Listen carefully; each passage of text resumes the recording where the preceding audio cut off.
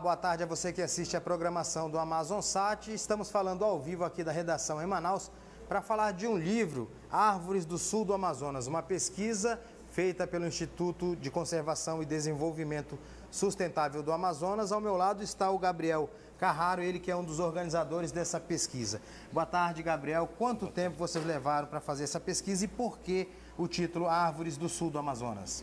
Boa tarde. É, a gente demorou cerca de três anos para fazer essa pesquisa. Foram mais de 20 pessoas, entre técnicos, coletores. Né?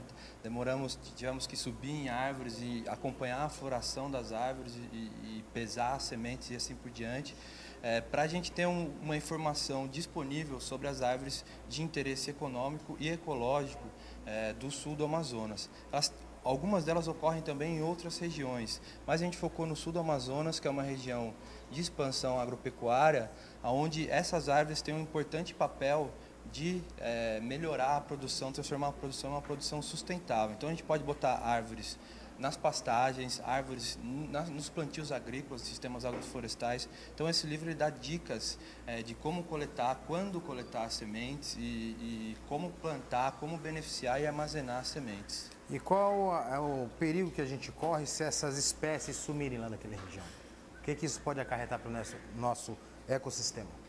Bom, isso é uma, uma coisa grave, né? Se as, essas espécies subirem na região, significa que todas as árvores ali vão sumir. Isso é, uma, uma coisa geral é que vai haver uma grande seca aí na Amazônia e duradoura, né? Não assim a cada ano, mas uma seca duradoura e incêndios florestais e assim por diante. A gente vai perder muita diversidade, é, emitir muito carbono, isso não vai ser nada bom para para a humanidade. Agora, todos. Gabriel, já foi provado que dá para a gente viver é, de forma sustentável, ou seja, conservando a natureza, não preservando. Preservar ela fica intocada, mas dá para você viver é, numa floresta conservando essa biodiversidade.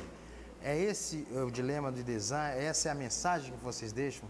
Exatamente. A gente está acompanhando mais de 200 produtores no sul do Amazonas e trabalhando para que eles, é, sim, produzam alimentos, mas de forma a conservar os recursos naturais, a biodiversidade, os solos, e aí conseguindo produzir mais alimentos e por um tempo maior. Né? Então, o objetivo nosso é exatamente esse, trazer aos produtores, ao, ao público em geral, a importância das árvores dentro dos sistemas produtivos.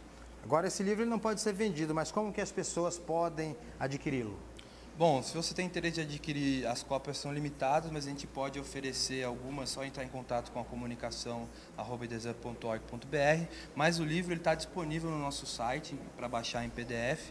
O endereço é www.idesam.org.br barra biblioteca. Muito obrigado. Esse foi o Gabriel Carraro, ele que é ecólogo e biólogo do Instituto de Conservação e Desenvolvimento Sustentável do Amazonas.